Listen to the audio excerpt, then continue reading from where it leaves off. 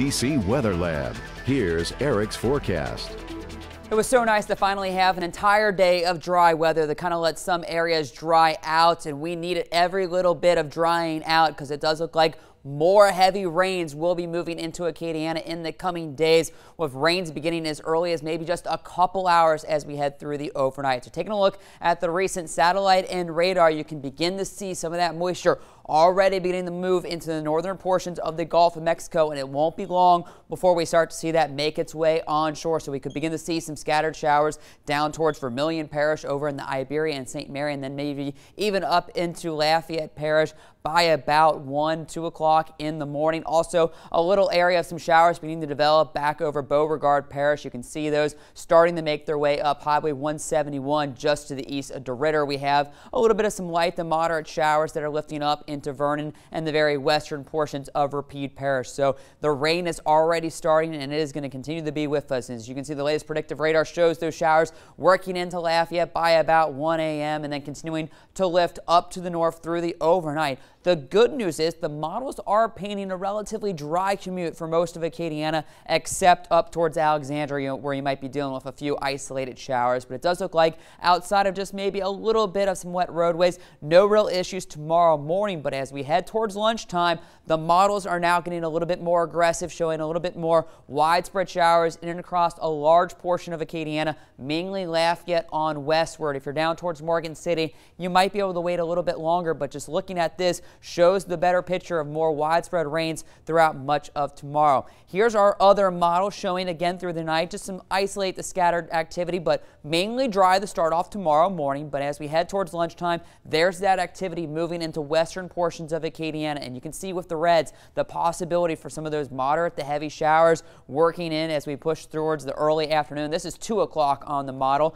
Again, mainly west and northern portions, but it does look like Lafayette will see its fair share of isolated isolated and on again, off again showers throughout Wednesday, even into the evening again. More northern and west portions of Acadiana will have the better chance to see more widespread showers with just isolated activity working through Acadiana. Heading into Thursday morning, another batch of rain moves in across the area and then continues into Thursday afternoon as the main area of low pressure finally begins to move through. So you can see those yellows and dark reds. So light to moderate activity moving through Acadiana and then heavy activity through much of Thursday afternoon, even into the evening as the system looks like it continues to slow down a little bit and will struggle to finally push out by Friday morning. But clouds will still be with us and cooler temperatures move in behind it. So a dreary end to the work week with lots of clouds and cool temperatures highs only in the low to mid 50s by Friday afternoon. But the most important thing is the rainfall totals and the trends are not going in the right direction. As you can see Earlier this afternoon, we were only below an inch for Lafayette and New Iberia. Now those totals are coming up to about three and a half for Lafayette, one and a half down towards New Iberia, close to five inches for Lake Charles, and close to four inches in Alexandria. With that strip of yellow, that's five to six, seven inches of rain begin to move into central portions of Acadiana. This more than likely would lead to more flash flooding concerns, and our other models are painting a pretty similar picture. So two to four inches is looking more and more likely over the coming days, and so flash flood watches are up for northern and western portions, including Calcasieu, Allen, over into Evangeline, Avoyelles, and Rapides Parish for that possibility of flooding concerns tomorrow and into Thursday with two to five inches with isolated higher amounts possible.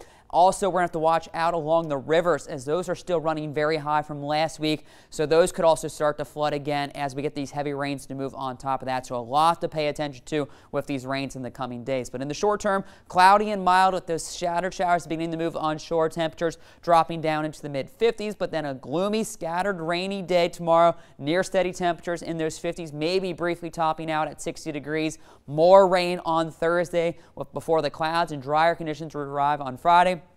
Sunshine doesn't return until Saturday, and the weekend is looking really good. Lots of sunshine temperatures where they should be for this time of year. And then looking ahead to next week, right now, the models are keeping us on the drier side, but we'll have to see if that continues. All righty. Thank you, Eric.